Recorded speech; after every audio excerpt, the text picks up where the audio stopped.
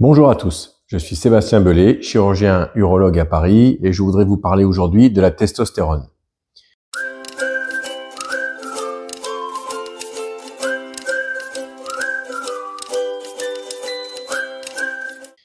Si vous avez fait part à votre médecin d'une perte de libido, d'une diminution euh, de l'envie sexuelle et de la qualité des érections, il vous a peut-être prescrit un bilan hormonal.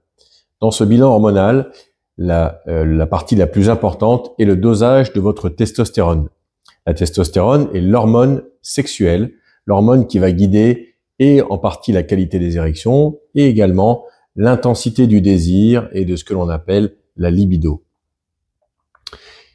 Lorsque l'on dose la testostérone d'un patient, on va doser la testostérone totale pour avoir une idée de sa valeur, mais surtout la testostérone biodisponible. Cette testostérone biodisponible est la sous-partie de la testostérone qui n'est liée ni à la protéine de transport des hormones sexuelles, que l'on appelle aussi SHBG, ni à l'albumine. Cette part de testostérone qui n'est pas liée à une protéine de transport est la partie que votre corps va pouvoir utiliser.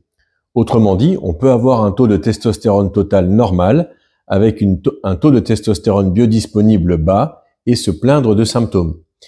En conclusion, ne faire doser que la testostérone totale est insuffisant.